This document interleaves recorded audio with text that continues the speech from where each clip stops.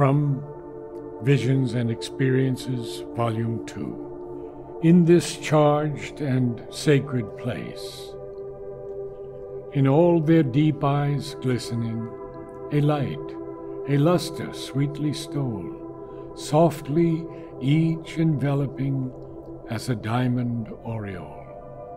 Upon these souls that did attend this home of godly atmosphere, a radiance I saw descend, and felt the Lord and Mother near.